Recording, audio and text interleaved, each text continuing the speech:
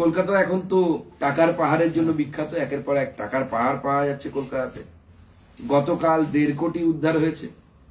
আমি ইডির এই পারফরমেন্সে খুব হতাশ। তার কারণ হচ্ছে, বাংলা দেড় কোটি টাকা উদ্ধার হওয়ার মতো জায়গায় নেই। আরও কোটি কোটি টাকা, যদি দেড়শো কোটি হতো তাহলে হয়তো আমি আনন্দিত হতাম। তাতে যার নাম বেরিয়ে আসছে, এখনও পর্যন্ত আমরা ইডির প্রেস রিলিজ থেকে শুরু করে দেখতে পাচ্ছি মঞ্জিত বলে কোনো একজন ভদ্রলোকের নাম উঠে আসে। মঞ্জিত সিং সেগরিয়াল, যাকে জিট্টি ভাই বলে ডাকে, কোনো একটি ধাবা চেনের মালিক। তার অফিস থেকে এবং তার পরিচিত লোকেদের কাছ থেকে এই টাকা উদ্ধার হয়েছে বলে ইডির দাবি। এই ভদ্রলোককে আমি টুইটও করেছি, নিশ্চয়ই সেই টুইটটা আপনারা দেখেছেন।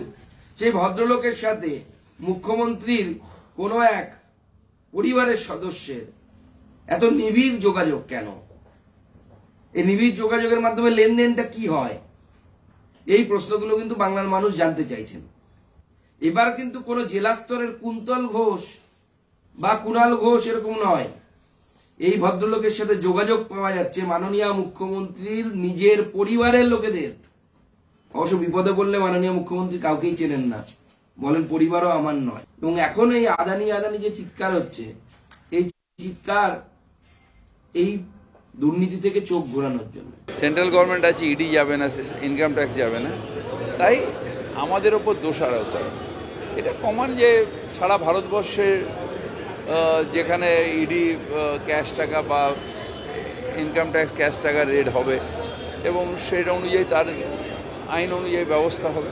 এটার মধ্যে তৃণমূল কংগ্রেস আবার কোথা দিয়ে এলো? এটা করুক, কিন্তু মানুষ আমাদের সাথে। তিন তিনবার মমতা বন্দ্যোপাধ্যায়কে কিন্তু বিজেপি চিফ মিনিস্টার করায়নি বাংলার মানুষ চিফ মিনিস্টার করেছে।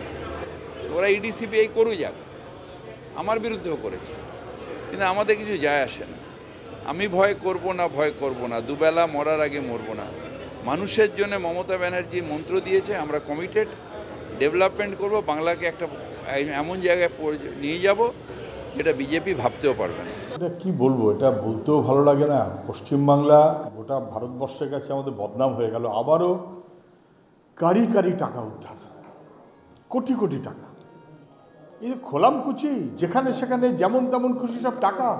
কার টাকা? কোথা থেকে? কিসের টাকা?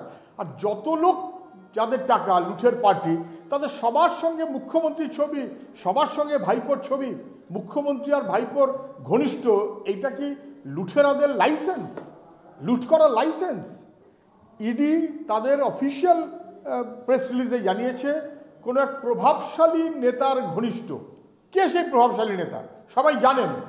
তৃণমূলের নেতারা পারলে স্বীকার করুন যে এই রকম সব প্রভাবশালী এবং ঘনিষ্ঠ, এই নিয়েই আমাদের লুটে পুটে খাওয়া তৃণমূল।